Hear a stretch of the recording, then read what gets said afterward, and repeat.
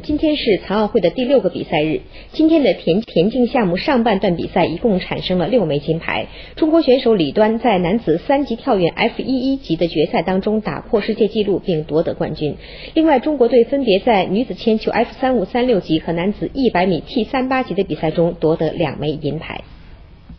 在男子三级跳远 F 十一级的比赛中，上届残奥会冠军中国选手李端与他的引导员再次站在了赛场上。F 十一级是视力残疾选手中伤残程度最重的，双眼无光感，属于全盲。所以在比赛中，他的引导员站在跳区，用击掌的声音引导他跑向正确的方向，并在合适的时间起跳。李端在第二跳就跳出了十三米三三的成绩，超越了自己保持的残奥会纪录，最终以十三米七一的成绩打破世界纪录并夺冠。阿塞拜疆的泽伊尼丁比拉诺夫和西班牙的哈维尔波拉斯分别获得银牌和铜牌。二十岁的小将吴晴九号在女子铁饼 F 三十五、三十六级比赛中已经获得了一枚金牌。今天他与队友白旭红又站在了相同级别铅球比赛的赛场上，他的状态非常好，第二投就越过九米大关，投出九米零八的成绩，处于第一的位置。然而，来自乌克兰的二一一零号选手马尔奇克发挥出色，第四投和第五投均投出了九米三三，破世界纪录的成绩。吴晴虽然在最后的第六投再次突破九米，但仍然没能够超越乌克兰选手。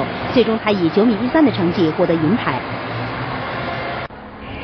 参加男子一百米 T 三十八级决赛的都是脑瘫患者中伤残程度最轻的运动员。中国选手周文俊被排在第二档。今天的比赛，他的起跑非常好，在所有选手中处于领先位置。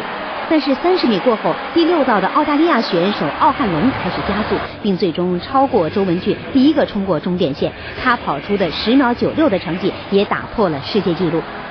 周文俊跑出十一秒一四的成绩获得亚军。乌克兰选手前世界纪录保持者谢尼克获得季军。随后站在一百米跑道上的是女子 T 三十七级的选手们。第四赛道的澳大利亚选手麦金托什是这个级别一百米的世界纪录和残奥会纪录的保持者。今天的比赛，他从起跑开始就处于领先，并最终第一个冲过终点，以十四秒一四的成绩获得冠军。乌克兰和德国选手分列二三位。